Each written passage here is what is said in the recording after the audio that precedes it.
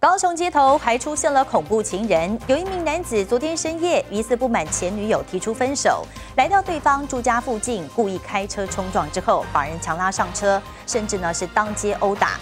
整个过程，前女友不断的呼喊救命，被民众拍下来报警。而男子落网之后还谎称他是被不明人士追车的，言辞前后不一，当场被拆穿，移送法办。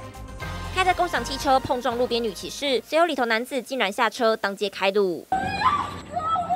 女方边挣扎边呼救，不过男子仍不停手，就是要把人强拉上车。拉扯过程，女方衣服被扯掉，男子用尽各种手段，甚至还出手攻击。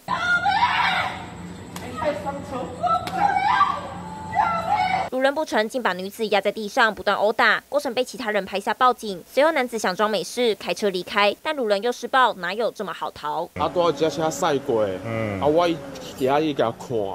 阿姨趴头，伊伊就来搞有啊！躲在附近两百公尺的转角处被警方揪出，眼看远景难查，男子还不断说谎。你有落车无啦？我就是停路边咧甲看。啊，我偷偷在问你，都讲你无。前后言辞不一，也当场被拆穿谎言。事发在十八号深夜十一点多，高雄旗津区。原来这对男女是前男女朋友关系。如人的雄性男子疑似不满被陈姓前女友分手，到对方住处等他回家，随后开车冲撞，意图将人掳走。而根据了解，两人交往一年多，被害的前女友四月初刚分手时就曾报。案称雄性男子经常施暴，当时警方有申请保护令，没想到隔没多久，男子就找上门来。